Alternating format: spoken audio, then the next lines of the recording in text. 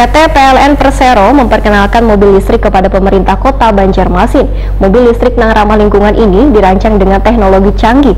Wali kota Banjarmasin pun langsung mencoba kelayakan mobil listrik tersebut di lobi Balai Kota Banjarmasin, Jalan RE Martedinata, Banjarmasin Tengah, Baisukan, Senin 23 Agustus 2021. PT PLN Persero memperkenalkan mobil listrik kepada pemerintah kota Banjarmasin. Mobil listrik yang ramah lingkungan ini dirancang dengan teknologi canggih. Wali Kota Banjarmasin Ibnu Sina langsung mencoba kelayakan mobil listrik tersebut di lobi Balai Kota Banjarmasin, Jan RE Marta Dinata, Banjarmasin Tengah, besukan Senin 23 Agustus 2021.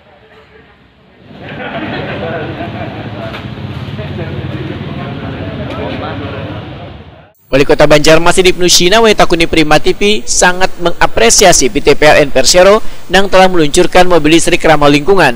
Ke depan, pemerintah kota akan melakukan pengadaan mobil listrik agar bisa dipergunakan dan diperkenalkan pada warga. Di tahap pertama ujar Ibnu Sina akan diadakan tiga buah unit mobil listrik yang nantinya akan diserahkan ke DPRD Banjarmasin dan jajaran di lingkup pemerintah kota Banjarmasin. Namun sebelum mobil listrik ini dipergunakan, terlebih dahulu akan disosialisasikan dan diperkenalkan kecanggihan mobil listrik ini, yaitu hemat biaya dan energi ramah lingkungan.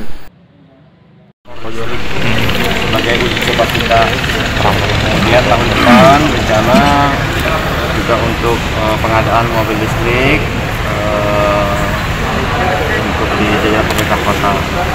Nah itu itu rencananya dukungan kita untuk apa namanya kota yang ramah lingkungan kemudian juga menggunakan energi listrik yang cukup nol emisi berarti.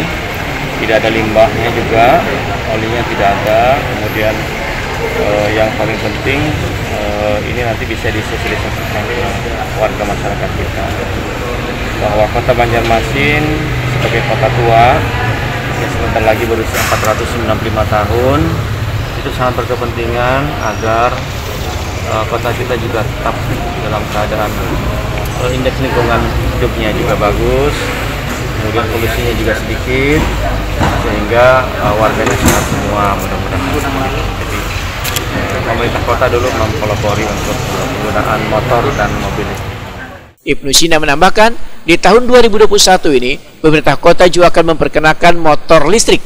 Yang nantinya diperuntukkan gasan 52 lurah sebanjar Masin.